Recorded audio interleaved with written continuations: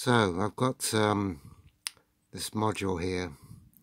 It's an 8-digit frequency counter, and the ones I use on my um, on a few tuners and receivers. I put them into uh, analog tuners, so you can get digital readout on FM. And they're ever so cheap. They're um, less than 10 quid, and they work from uh, about 30 kilohertz to 60 megahertz on the low range and on the high range it's about 60 to 1 gigahertz which is pretty impressive for what they are. And I bought this one a few weeks ago on eBay from China obviously and when it arrived it didn't work. It didn't do anything. It didn't light up. It was drawing about 45 milliamps which is not enough. It should draw about 150 200 so I thought, well, I'll, I'll, email the seller. And he said, oh, please don't leave me negative feedback. I'll send you a new one straight away. And he did. Within a week, I had another one sent, which worked fine. But um, I should, I could have just chucked this one away. But I thought, well, I'll just try and find out what's wrong with it. So it's got two voltage regulators on it. There's a 5 volt regulator there. That's fine. That's working okay. It's also got a tiny little free 3.3 reg volt regulator there, which also is working. And I thought, well, I wonder if it's got any clock signal, you know, because it's got um, an onboard TCXO, 13 megahertz TCXO, temperature compensated crystal oscillator. And that was just here. I've removed it because there was no signal coming out at all. And it comes out on that pin and I'll show the other one.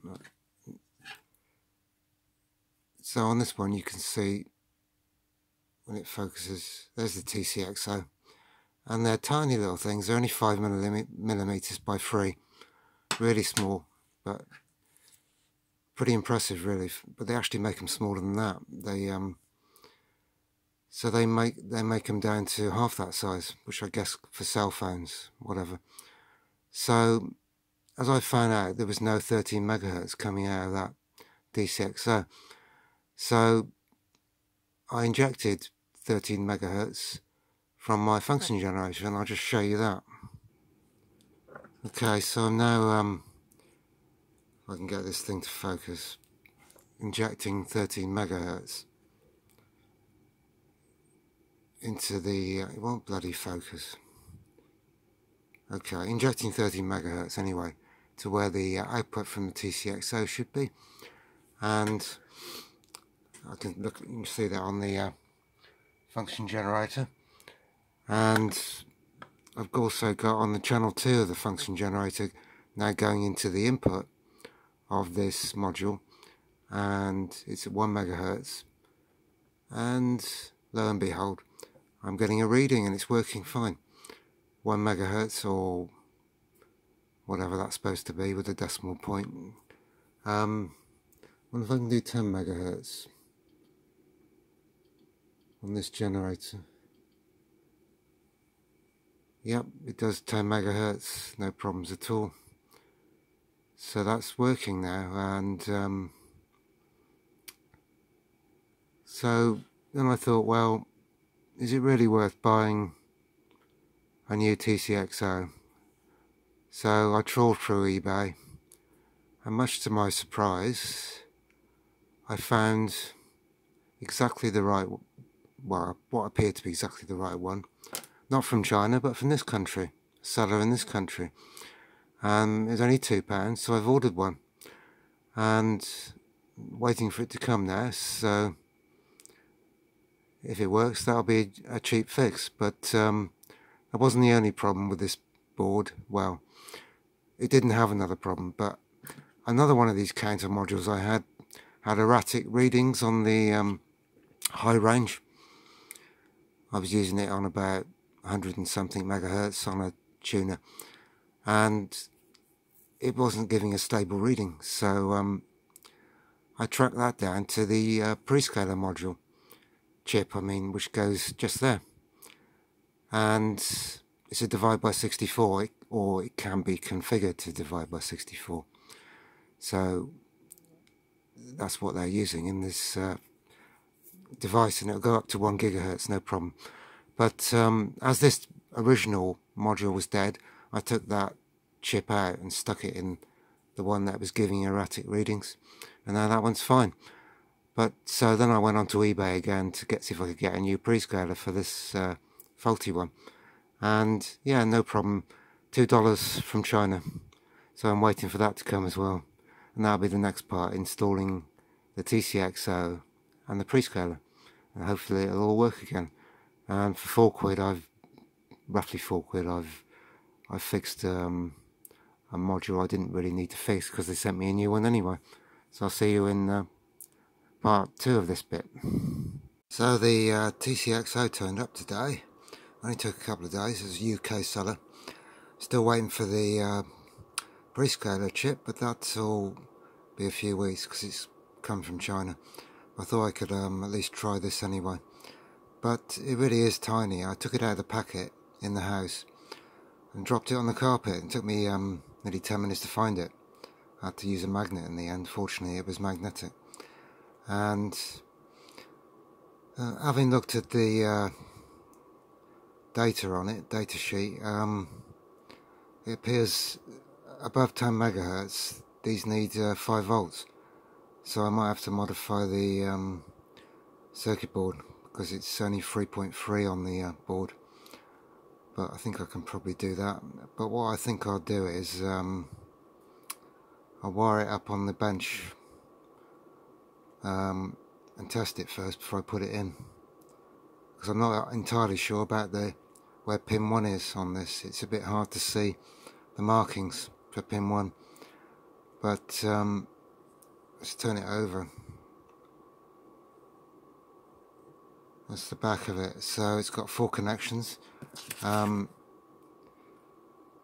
3.3 volts, um, a trimming connection which is for adjusting the uh, frequency. Uh, earth on uh, the opposite end to the uh, power supply. And the output pin which is seems to suggest that you need 10k load on it. Well, I'll have to try it on the bench anyway and see how it performs. So um, I think I'll just try and wire it up and um, I'll do that off camera because it's hard enough to do it as it is without trying to do it through the camera. Right, so I've got it wired up on the bench as you can see. That was hard enough doing that. Um, and I'm just going to turn the power on. Got it on 3.3 volts. Okay, turn the power on and it's not drawing anything according to the uh, power supply. But uh, I'll just stick my scope on it and see what I can see. What's the output on that one there? Right I've got um, got something on the scope. It looks like a pretty good sine wave I just moved the camera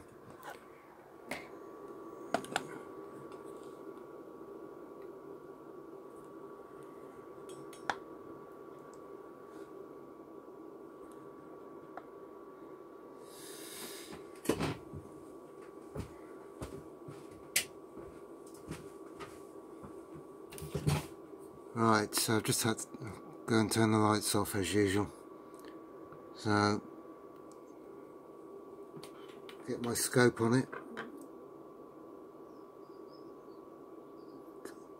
Okay, um, yeah, that's pretty good. That's 13 megahertz, exactly what I want. And volts RMS 1.29 volts. So obviously I got it connected up the wrong, the right way around and it's quite a decent output it's, and it's working fine on 3.3 um, I've got the current limiting set to 10 milliamps just in case I connected it up the wrong way around. Uh, okay so I can try and put it in there, and that's going to be hard. I have to do that off camera as well. Got it in on the board and did a fairly good job. Not quite as good as it would be. I had to use hot air but you know it's um, well I suppose I have to test it now see if it works turn the power on uh, it's drawing uh, nearly 200 milliamps that's a good sign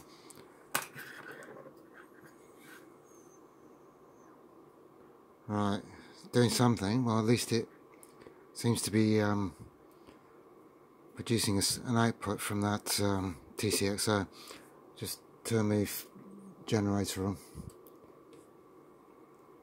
Okay, that's pretty good. Um, what's that? 9.999967 megahertz. Got 10 megahertz from the generator. So it's a bit out. It needs trimming a bit. So I'll see if I can trim it. It's got a little trimming uh, potentiometer. It's a bit hard to get the uh, trimming tool in it.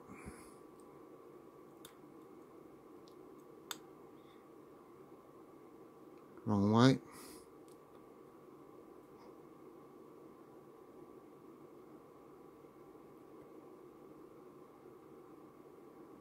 Quite a long way off.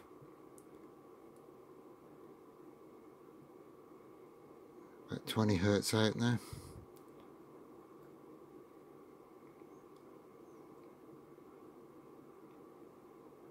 Getting close.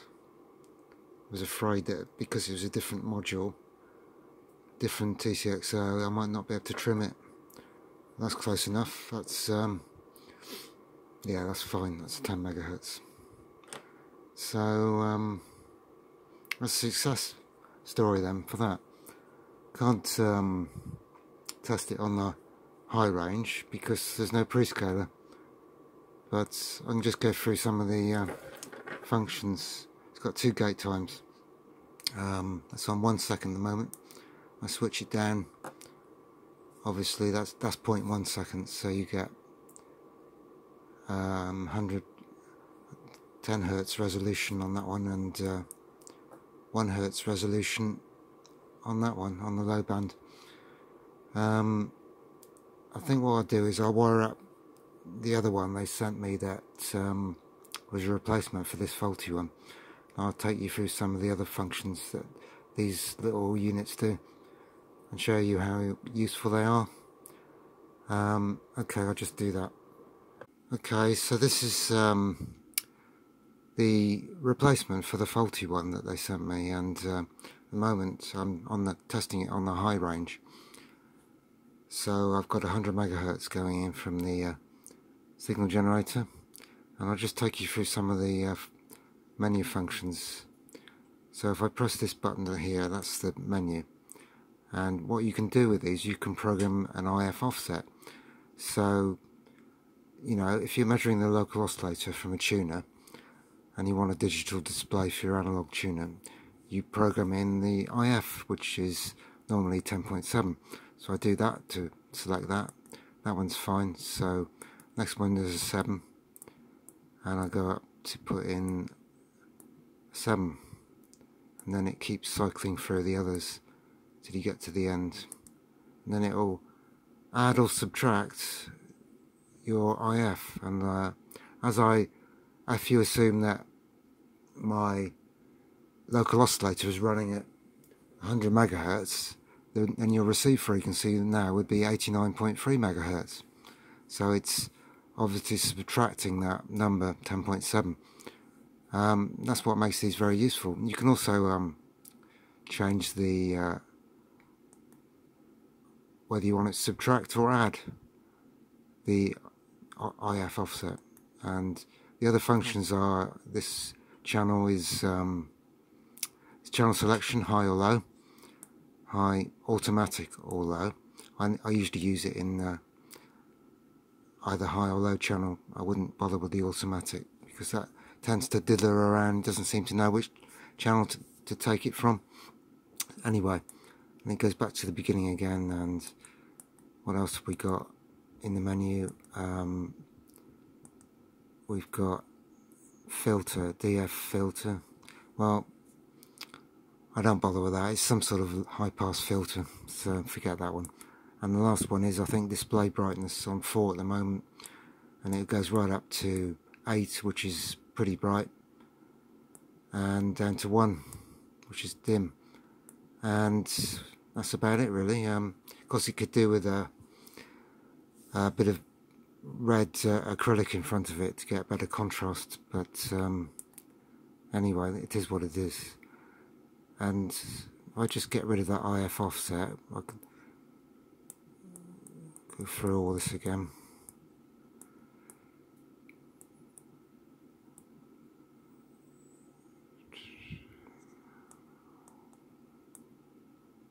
Right, back to the beginning, measuring 100 megahertz. Just do a frequency response on the high input. So I've got 100 megahertz at the moment with 0 dBm. Um,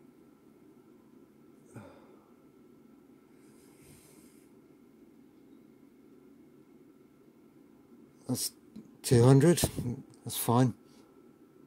Take it up to 500, that's pretty good still. 900 struggling a bit at 900 of course this um, cable I'm using is a bit lossy for such a high frequency. But you know it's still pretty good.